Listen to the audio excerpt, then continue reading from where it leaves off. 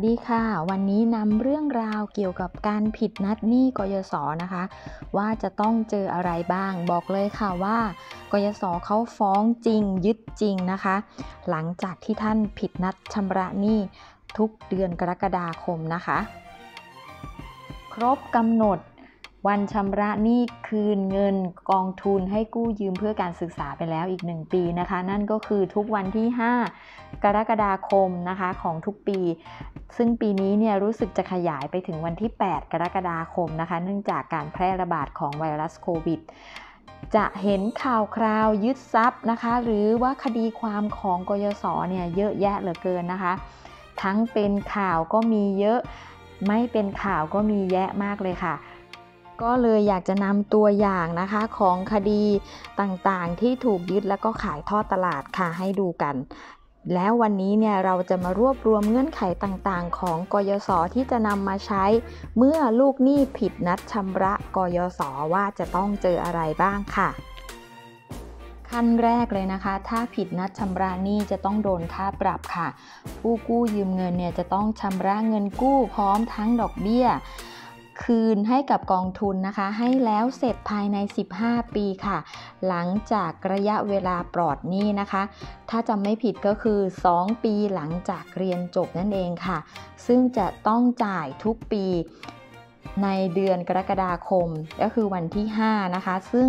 กองทุนเนี่ยเขาจะทำเป็นตารางมาให้เลยค่ะ ว่าปีที่ 1 2 3 ถึงปีที่ 15 เนี่ยคุณจะต้องจ่ายเงินคืนกองทุนปีละเท่าไหร่ค่ะ ค่าธรรมเนียมนะคะ กรณีผิดนัดชำระเงินกู้ยืมนะคะ ปัจจุบันเนี่ยจะอยู่ที่ 7.5%ต่อปี ปรับลดลงมานะคะจาก 12 ถึง 18%เนื่องจากสถานการณ์ไวรัสโควิด -19 ระบาดนะคะ โดยจะมีผลตั้งแต่วันที่ 1 ตุลาคม 62 นะคะ ส่วนงวดที่ผิดนัดชำระจนถึงวันที่ 30 กันยา 62 เนี่ยก็ยังคงเป็นอัตราเบี้ยปรับเดิมนะคะ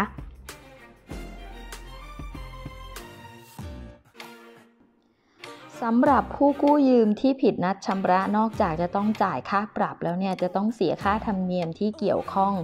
หากไม่ชำระคืนเป็นระยะเวลานานก็จะถูกฟ้องดำเนินคดีนะคะ โดยมีเกณฑ์ตามเงื่อนไขดังนี้ค่ะ กรณีแรกเนี่ยผู้ที่กู้ยืมแล้วค้างชำระหนี้เกิน 4 ปี 5 งวดหรือ 1,460 วันขึ้นไปนะคะ กรณีที่ 2 คือผู้ยืม ที่พ้นระยะเวลาการผ่อนชำระหนี้แล้ว แต่ก็ยังมีหนี้ค้างชำระอยู่ค่ะ ก็คือเกิน 15 ปีก็ยังมีหนี้ค้างใช้ไม่หมดสักทีนะคะ กรณีที่ 3 ผู้กู้ยืมกลุ่มไกล่เกลี่ยก่อนฟ้องคดีค่ะ มีหนี้ค้างชำระนะคะ โดยจะมีเงื่อนไขดังนี้ค่ะ คือไม่เป็นผู้กู้ยืมเสียชีวิตหรือสาบสูญนะคะ ไม่เป็นผู้กู้ยืมพิการ หรือทุพพลภาพนะคะ และได้รับอนุมัติให้ระงับการเรียกใช้ชำระหนี้ค่ะ ไม่เป็นผู้กู้ยืมที่ชำระหนี้ปิดบัญชีแล้ว หรือรับทุนที่มีบัญชีติดลบนะคะ ไม่เป็นผู้กู้ยืมที่ถูกดำเนินคดีแล้ว ไม่เป็นผู้กู้ยืมที่ยินยอมให้กองทุนหักเงินเดือน ไม่เป็นผู้กู้ยืมที่ชำระหนี้มากกว่า 10%ของยอดหนี้คงเหลือนะคะ ผลชำระหนี้ 2 ปีย้อนหลังนะคะ ไม่เป็นผู้กู้ยืมที่ถูกศาลพิทักษ์ทรัพย์เด็ดขาดค่ะหมายความว่าเหล่านี้เนี่ยจะไม่ถูกดำเนินคดีฟ้องร้องนะคะ จากธนาคารกรุงไทยค่ะ มาดูขั้นตอนการฟ้องร้องนะคะ กรณีที่ผู้กู้ยืมผิดนัดชำระ ตามเงื่อนไขที่กองทุนกำหนดเนี่ยจะมีโอกาสถูกฟ้องขั้นตอนต่างๆ ดังต่อไปนี้นะคะหนึ่งก็คือกองทุนเนี่ยจะส่งหนังสือบอกเลิกสัญญาไปก่อนให้ผู้กู้และผู้ค้ำเนี่ยทราบ และก็จะให้ไปชำระหนี้นะคะ หากยังเมินเฉยภายในระยะเวลาที่กำหนดเนี่ยก็จะส่งรายชื่อไปให้ธนาคารกรุงไทยดำเนินคดีค่ะ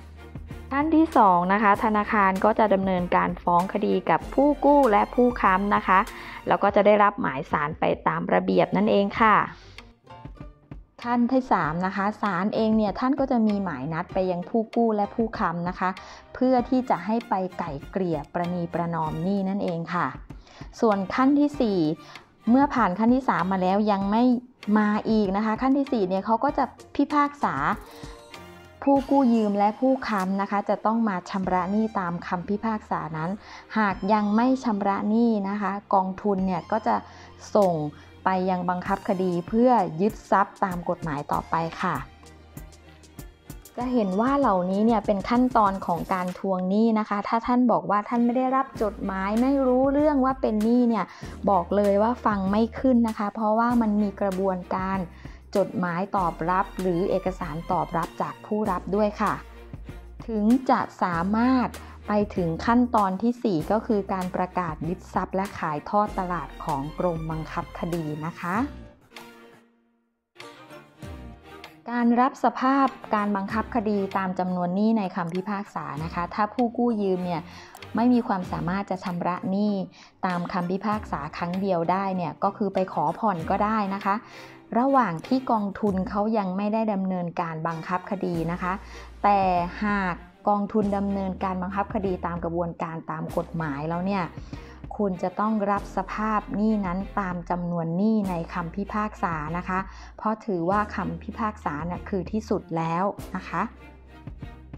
ค่ะเมื่อไปถึงขั้นตอนบังคับคดีหรือถูกอายัดทรัพย์นะคะ หลังจากที่ศาลมีคำพิพากษานะคะ หากผู้กู้ยืมเนี่ยยังไม่ปฏิบัติตามคำสั่งศาลหรือชำระหนี้ให้เสร็จสิ้นเนี่ยกองทุนก็จะดำเนินการสืบทรัพย์ของผู้กู้และผู้ค้ำและบังคับคดีโดยการยึดทรัพย์สิน และก็ประกาศขายทอดตลาดเพื่อนำเงินมาชำระหนี้คืนกองทุน ซึ่งผู้กู้และผู้ค้ำเนี่ยสามารถเลือกได้ 2 ทางนะคะ ก็คือ คือชำระหนี้ปิดบัญชี ซึ่งก็หมายถึงการจ่ายเงินปิดบัญชีเงินกู้นั่นเองค่ะ 2. ไกลเกลี่ยชั้นบังคับคดีตามขั้นตอนทางกฎหมายนะคะ ถึงจะจบเรื่องไปได้ค่ะ และถ้าหากว่าผู้กู้หรือผู้ค้ำเนี่ยต้องการที่จะให้ธนาคารกรุงไทยถอนฟ้องนะคะ ก็จะมีให้เลือกอยู่ 2 กรณีดังต่อไปนี้ค่ะ กรณีที่1เนี่ยผู้กู้จะต้องชำระหนี้ปิดบัญชีนะคะ พร้อมจ่ายค่าทนายและส่งหลักฐานการชำระหนี้ปิดบัญชีไปให้กองทุนพิจารณาถอนฟ้องด้วยค่ะ ซึ่งก็จะมีก็คือ 1. ปิดบัญชี พร้อมค่าทนาย ค่าทนายก็ประมาณ 5,500นะคะ ก็ปิดบัญชีชำระหนี้กับธนาคารกรุงไทย ซึ่งเขาก็จะมีวิธีแนะนำอยู่นะคะ 2. ก็ส่งหลักฐานการชำระหนี้ปิดบัญชีเนี่ยพร้อมแจ้งชื่อเบอร์ติดต่อนะคะ ใบเสร็จการชำระเงินปิดหนี้กยศหรือกรอนะคะ ใบเสร็จการชำระค่าทนายความด้วยนะคะ ไปยังแผนกฝ่ายคดีและบังคับคดีกยศด้วยค่ะ สำหรับกรณีที่ 2 นะคะ ถ้าผู้กู้และผู้ค้ำเนี่ยไม่สามารถชำระหนี้ได้เนี่ยก็ต้องไปที่ศาลค่ะ เพื่อที่จะเจรจาไก่เกลี่ยประนอมความในชั้นศาลนะคะ กรณีที่ผู้ค้ำและผู้กู้เนี่ยเป็นไปตามสารนัดก็จะขอผ่อนผันชำระหนี้รายเดือนอะไรก็ว่าไปได้นะคะ หรือ 2 นะคะ กรณีที่ผู้กู้และผู้ค้ำไปตามที่ศาลนัดแล้วเนี่ยศาลก็จะสั่งพิพากษาชำระหนี้ทั้งจำนวน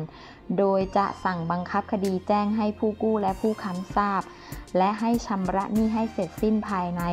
30 วันค่ะหลังจากที่ได้รับคำสั่งศาล